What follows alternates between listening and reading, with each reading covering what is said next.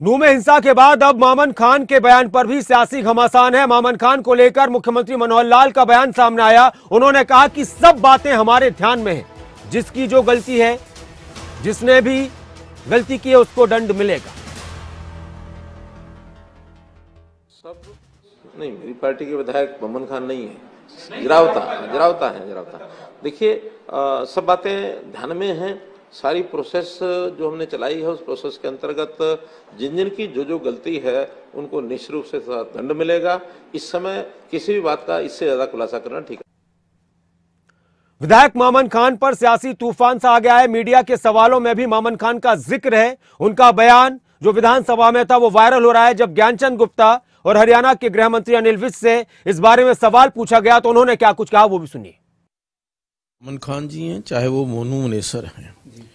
जो भी इस घटना के लिए जिम्मेवार हैं, उनको सख्ती से उनके साथ निपटना चाहिए, ताकि भविष्य में कोई ऐसा वो कृत्य ना कर सकें और एक उनको लेसन मिलना चाहिए। देखिए, कोई भी हो छोटे से बड़ा तक जिसने इसकी साजिश की है, जिसने इसकी इंजीनियरिंग की है, जिसने ये षड्यंत्र रचा है, जिसने ये जहर घोला है, उसको हम माफ़ नहीं करेंगे। लेकिन हम पहले उसको बेनकाब करेंगे। हम तथ्यात्मक तरीकों से उस जो सामने आएगा, जिसने भी ये षड्यंत्र किया है, उसको हम मामन खान का बयान और फिर मोनू मानेसर का बयान। उसका वीडियो कि मैं आ रहा हूँ मेवात सब पहुंचिए मेवात इन बातों को लेकर कहा जा रहा है कि यहाँ से मामला गरमाया था, हिंसा भड़की थी। मामन खान का वो कौन सा बयान था, जो चर्चाओं में है, जिसका ज़िक्र बार बार किया जा रहा है, जरा आप सुनिए।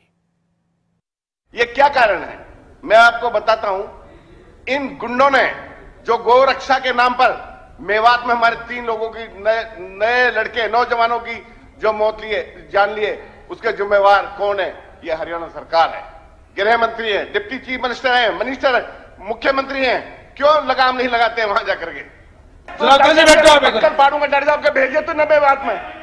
मोनू मोनू मानस सर ने आपके भेजे इसकी। जरावता जी आप बैठिए बैठिए जरावता जी आपके तुम्हारे को? ए जरावता जी बैठ जा चुपचाप तू। बैठो। तुम्हारी है। नेम करो।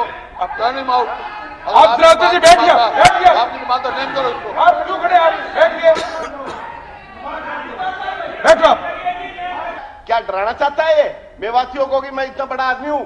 अब के मंत्री, याद रखना, ये मेवात गए, इसकी प्यास नाफोड़ी ना फोड़ी तो मेवात भी हमसे कौन कहेगा इसने बहुत आतंक उठा लिया मेवात में। तीन लड़कों की हमारी जान ले ली है इसने। माता, जय श्री राम, मैं आपका भाई मोनू मानेसर बजरंग दल प्रांत गोरक्षा प्रमुख बजरंग दल हरियाणा से। सभी भाइयों को बड़ी खुशी के साथ बताया जा रहा है, इकतीस सात दो हज़ार तेईस, दिन सोमवार। को मेवात ब्रज मंडल यात्रा है। सभी भाई बढ़ चढ़कर हिस्सा ले और बढ़ चढ़कर मेवात के सभी मंदिरों में जाएँ। तो ज़्यादा से ज़्यादा संख्या में सभी भाई जाएँ। हम खुद यात्रा में शामिल रहेंगे और हमारी पूरी टीम यात्रा में शामिल रहेगी। तो सभी भाई जोरों शोरों से गौ माता का नाम लेकर, प्रभु श्री राम का नाम लेकर और मेवात यात्रा में बढ़ चढ़कर हिस्सा ले। जय गौ माता, जय श्री राम, जय और इस वक्त हमारे साथ विधायक बीजेपी सत्यप्रकाश जरावता जी जुड़ चुके हैं। मामन खान का जो वीडियो चल रहा है वायरल हो रहा है उस दौरान उनकी भी बहस हुई थी। नमस्कार सत्यप्रकाश जरावता जी। नमस्ते नमस्ते जी। सत्यप्रकाश जरावता जी अपील आप भी कर रहे हैं सभी कर रहे हैं कि इस वक्त ज़रूरी है सौहार्द बना रहना। लेकिन ये नूह में हिंसा भड़की क्यों? किसने आग लगाई है? देखिए ये तो जाँच का विषय है। कानून अपना काम कर रहा है पुलिस अपना जाँच करेगी। क्यों भड़की है? किसने भड़काई? वो सब जाँच का विषय है। मैं तो सिर्फ़ इतना ही है कि इस समय शांति रहे और इन सब चीज़ों पर तो बाद में बात हो सकती है। बस किसी तरह भाईचारा रहे शांति व्यवस्था कायम रहे।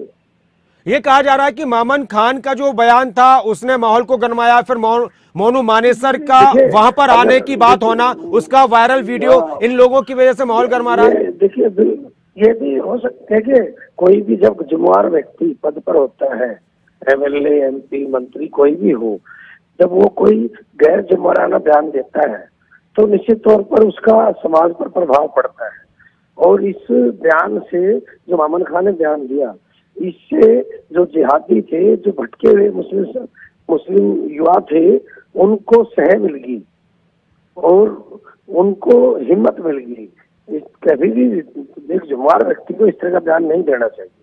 और मोनू मानेसर को लेकर यह कहा जा रहा है बार बार कांग्रेस के विधायक दूसरे विधायक ये कह रहे हैं कि सरकार मोनू मानेसर को बचा रही है सरकार मोनू मानेसर पर कार्रवाई नहीं कर रही। देखिए उन, उन पे जो कार्रवाई करनी है राजस्थान सरकार ने करनी है वो तो सी है नहीं है। और राजस्थान सरकार अपना काम करे माननीय मुख्यमंत्री जी ने कहा है कि राजस्थान सरकार को यदि हमसे सहयोग चाहिए हरियाणा सरकार से तो हम सहयोग करने के लिए तैयार हैं। अगर मोनू मानेसर का बयान और मामन खान के बयान से लोग भड़के हैं तो सरकार ने उस पर कार्रवाई क्यों नहीं की मामन खान पर पहले? नंबर तो ये कि मोनू मानेश्वर और मामन खां का बयान एक तरह नहीं तो मोनू मानेश्वर कोई जनप्रतिनिधि नहीं है कोई नेता नहीं है कोई जिम्मेदार पद पे नहीं है। मामन खान एक जिम्मेवार पद पर बैठा हुआ व्यक्ति। तो जब इनका बयान भड़काने वाला था तो इन पर पहले कार्रवाई क्यों नहीं हुई? जब आपको अब लग रहा है कि इनके बयान से लोग भड़के हैं। देखिए बयान से भड़के भड़के नहीं भड़के तो जाँच का विषय है।